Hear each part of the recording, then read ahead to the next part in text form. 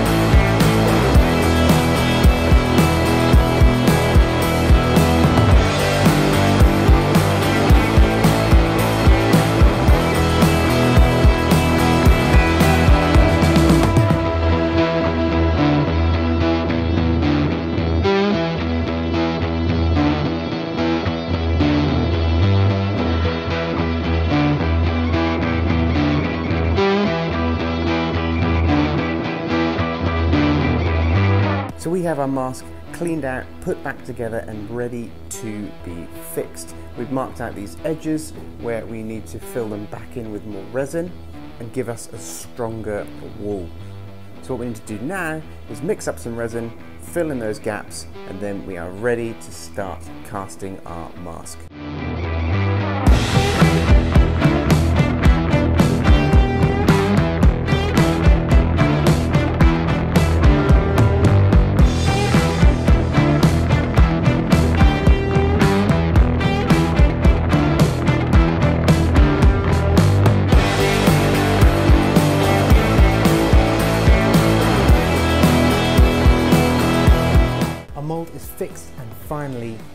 To go. So now it starts the really, really exciting part, and that is going to be casting our mold finally in silicone. Now this first cast is going to be a test cast. So we're not going to be using the exact silicone that we're going to be using in our final mask. Now if you remember back to previous videos, we made this, which is our little skin piece that we tested our paint job we tested a bit of hair punching as well. This is the silicone that we are going to be using. You can see it's super stretchy, really, really tough. It's got some really great properties for a mask. But what we don't want to do is waste a whole bunch of silicone on a mold that doesn't work. So we are going to use some of this, which is similar. You can see it's still got some pretty good properties, still really stretchy, but it hasn't quite got the softness or the pliable nature of the 0020 silicone. This is a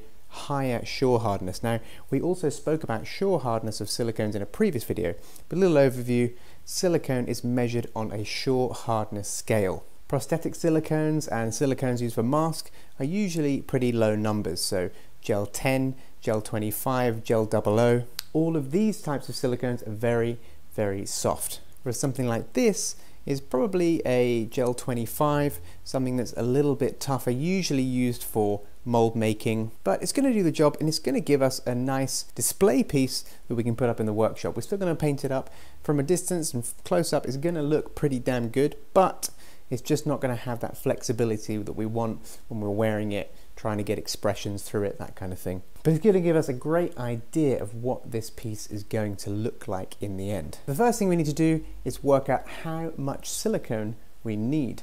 Now I'm pretty sure I mentioned this in a previous video, but the way you do this is you keep the clay you've taken out of the mold, which we have done over there. So we are going to take that clay and we are going to weigh it. We're then going to do some calculations and we're going to work out what 70% of that weight is. And that's going to give us the answer to how much silicone we need, thereabouts. So again, that's 70% of the weight of your clay is how much silicone volume you're going to need to fill that void in the mask. Let's get that weighed up and work out how much we need.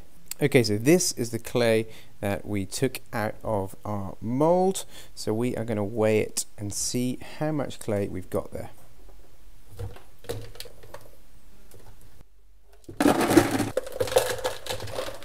Okay, so here is the plan. We have about 2,050 grams of clay. 70% of that is 1,435 grams. So that is about how much silicone we're going to need. Now we are going to do a little bit more just to compensate for some of that clay we may have lost when we were cleaning out the mold. So that brings us to the technique we're going to be using for casting this. I'm going to try and show you in a simple diagram here. So we have in the middle our positive head form,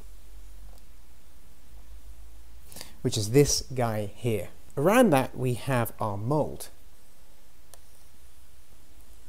like so. So the space between the head form and the mold is the negative space where the clay used to be and there's now a void with the textures and all of the details on the inside of this mold. And our positive head form creating the negative the inside of the mask so it fits the wearer's face. What we need to do is get silicone in this void. Now the original plan was to create a mold we can pour into by adding a pour spout like this. We would pour the silicone down into this spout and it would fill the negative space. We'd also drill some bleeder holes.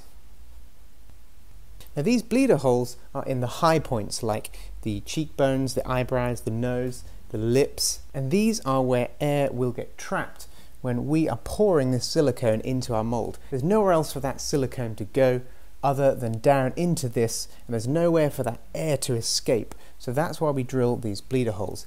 As we pour it in and the mold starts to fill, the silicone will leak out of these holes. We will then plug them with some sort of clay, then giving us hopefully a bubble-free mold.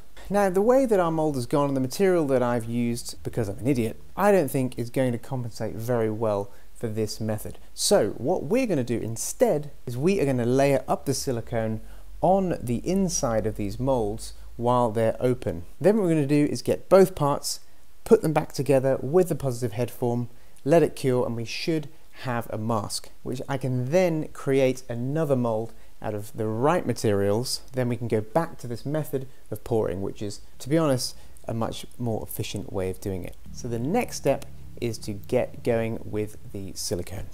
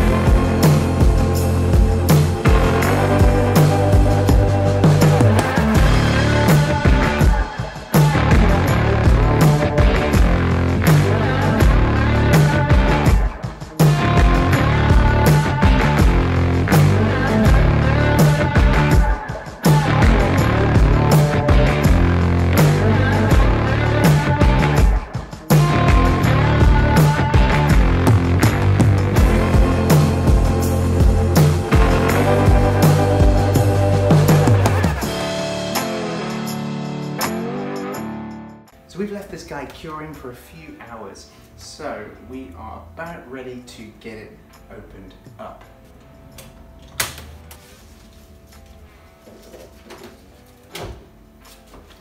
Not looking too bad.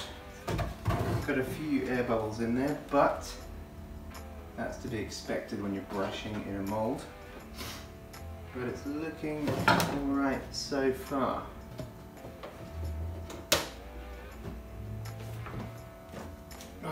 Did it. Man, that was hard work. Okay, not too bad. There's a little bit of flashing and stuff to clean off here. Um, there is a few air bubbles that we need to clean up. But overall, considering the mould is definitely not the right material, I think it's actually turned out okay. So I think what we need to do now is clean it up, fill in a few of these little gaps, and then I think we should be getting on to painting and then making another mould for this so we can actually start reproducing them. So let's get on with the cleanup.